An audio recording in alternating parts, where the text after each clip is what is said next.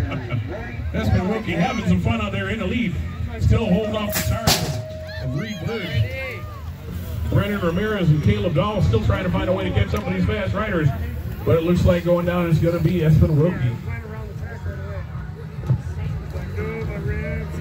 Nine experts on the track right now. Brady King, J Jacob Lane, Rocket Allman, Gannon Philbright, Jaden Carpenter, and Chandler Papone. Like Keep cranking, dude, all the way around. Got the five riding number two spot is Jason Lang, only taking two of these riders to the main. Brady King and Jacob Lang still right now, one and two. Rocket Cannon, Jason and Chandler all trying to find a way to catch All the way, dude. one of these two All the way. four right now. It's still Brady King leading the way. Oh, we got some competition coming up. Who's that?